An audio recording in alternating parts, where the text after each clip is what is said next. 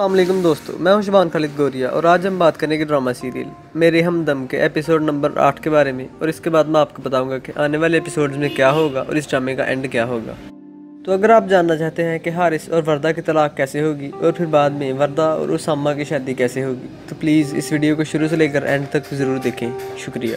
جیسا کہ اب تک آپ نے دیکھا کہ پارس کا پاگل پن ختم ہونے کا نام نہیں لے رہا، اسی لیے پارس حارث کے گھر پہنچ جاتی ہے تاکہ وہ وہاں جا کر سب کو سچ بتا دے۔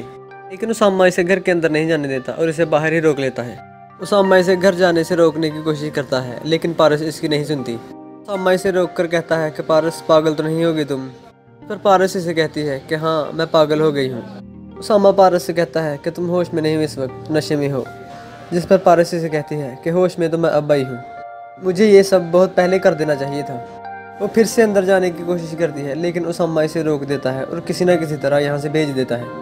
دوسری طرف وردہ کی بے چینی اور حارث کی مسلسل بے رخی۔ وردہ کو کوئی نہ کوئی ایکشن لینے پر مجبور کر دیتی ہے۔ وردہ شک کی بنا پر حارث کا موبائل چیک کرتی ہے۔ موبائل چیک کرنے پر وردہ کو پتہ چل جاتا ہے کہ حارث کا کسی اور بھی لڑکی کے ساتھ چکر چل رہا ہے۔ فرینڈز یہ تو تھی اب تک کی کہانی۔ اب میں آپ کو بتاتا ہوں کہ آنے والے ایپیسوڈز میں کیا ہوگا۔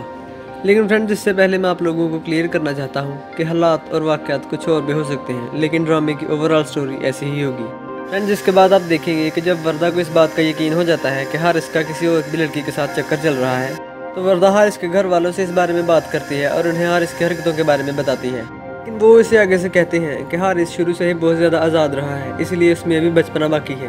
لیکن اب اس کی شادی ہو گئی ہے، اس لیے وہ وقت کے ساتھ ساتھ سدھر جائے گا اور اپنی ذمہ داریاں بھی قبول کرنے لگے گا۔ لیکن اب تم اس کی بیوی ہو اور اپنے شوہر کو سنبھالنا بیوی کا ہی کام ہوتا ہے۔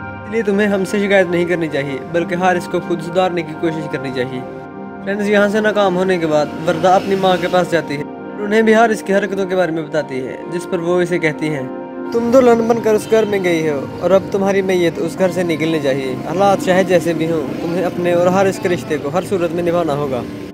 وہ وردہ کو مزید سمجھاتی ہیں، جس کے بعد وردہ واپس چلی جاتی۔ ہے وردہ اسامہ سے بھی اس بارے میں بات کرتی ہے، جس پر اسامہ وردہ کو سمجھاتا ہے۔ اسامہ اسے کہتا ہے کہ حارث شروع سے ہی بہت زیادہ آزاد رہا ہے، اس لیے ابھی اسے اپنی ذمہ داریوں کا احساس نہیں ہو رہا۔ لیکن تم ہمت مت ہارو، وقت کے ساتھ ساتھ سب کچھ ٹھیک ہو جائے گا۔ اور تم دیکھنا حارث، تمہیں تمہارے سارے حقوق دے گا۔ پہلے پہل تو اسامہ وردہ کو سمجھاتا ہے اور اسے کہتا ہے کہ وہ حارث کی حرکتوں کو نظر انداز کرے۔ لیکن بعد میں اسامہ کو خیال آتا ہے کہ کیوں نہ وہ حارث کی ان حرکتوں سے فائدہ اٹھا کر حارث اور وردہ کی طلاق کروا دے اور پھر بعد میں وردہ سے خود شادی کر لے۔ اسامہ حارث کا بیسٹ فرینڈ ہے۔ اسی لیے اسے حارث کی تمام باتوں کا پتہ ہوتا ہے۔ اسے حارث کی ان باتوں کا بھی پتہ ہوتا ہے جو کسی اور کو نہیں پتا اسامہ اسی چیز سے فائدہ اٹھاتا ہے اور وہ وردہ کے دل میں حارث کے لیے مزید نفرت پیدا کر دیتا ہے۔ اسامہ وردہ کے دل میں حارث کے لیے اتنی زیادہ نفرت پیدا کر دیتا ہے کہ آخر کار وردہ اسامہ سے طلاق لے لیتی ہے۔ وردہ اپنی ماں کے گھر جا کر بیٹھ جاتی ہے، لیکن کچھ دن گزرنے کے بعد اسامہ وردہ کے گھر رشتہ بھیجتا ہے۔ وردہ کی ماں بہت زیادہ خوش ہوتی ہے کہ ان کی طلاق شدہ بیٹی کے لیے اتنا اچھا رشتہ آیا ہے۔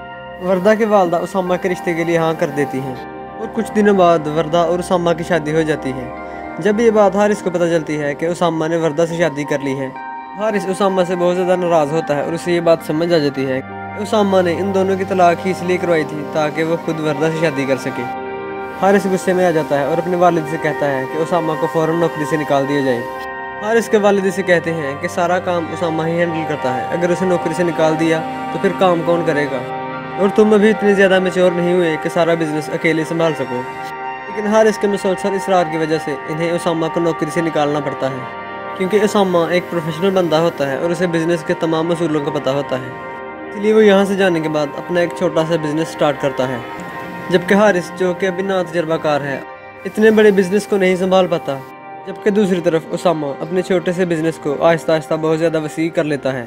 اور ادھر حارث اتنے بڑے بزنس کو اکیلا نہیں سنبھال پاتا اور آہستہ آہستہ تو سارا کاروبار تباہ کر کے رکھ دیتا ہے۔ فرینڈز یہ تھی اس ڈرامے کی کہانی۔